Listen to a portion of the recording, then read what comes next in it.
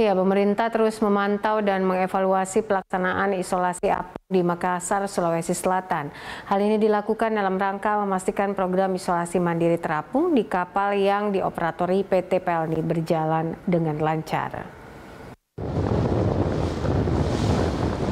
Kementerian Perhubungan melalui Direktorat Jenderal Perhubungan Laut terus memantau dan memastikan fasilitas program isolasi mandiri terapung di kapal KM Umsini yang dioperatori PT Pelni Persero di Makassar, Sulawesi Selatan berjalan dengan lancar. Dirjen Perhubungan Laut Kementerian Perhubungan Agus Purnomo menjelaskan, program isolasi mandiri terapung di kapal rencananya akan dilaksanakan di daerah lainnya. Pemerintah akan menggunakan fasilitas kapal Pelni bekerja sama dengan BNPB, Kementerian Kesehatan, dan pemerintah daerah akan menduplikasi isolasi apung untuk daerah Minahasa, Bitung, Sorong, Belawan, Jayapura, dan Lampung. Uh, melihat kondisi real bagaimana uh, isolasi terapung di kapal ini dan saya lihat sendiri tadi betapa uh, ya disebut pasien ya Pak ya. Pasien lah itu enjoy di kapal.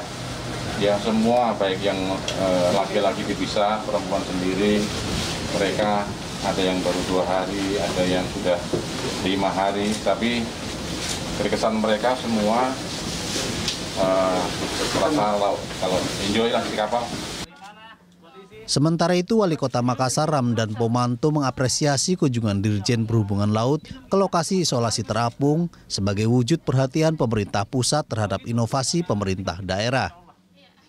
Ramdan menyebutkan ratusan pasien yang dirawat pada pekan pertama telah ada 43 orang yang negatif COVID-19 dan telah diperbolehkan pulang.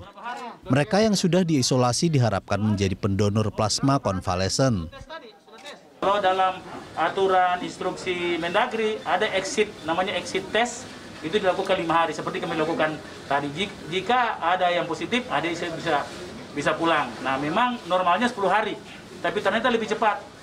Akhirnya uh, kondisi ini membuktikan bahwa uh, isolasi di atas air laut yang punya udara klorin dengan kondisi yang menyenangkan itu akan memperkuat imun dan mudah-mudahan pada minggu berikutnya akan makin semakin banyak orang yang sembuh.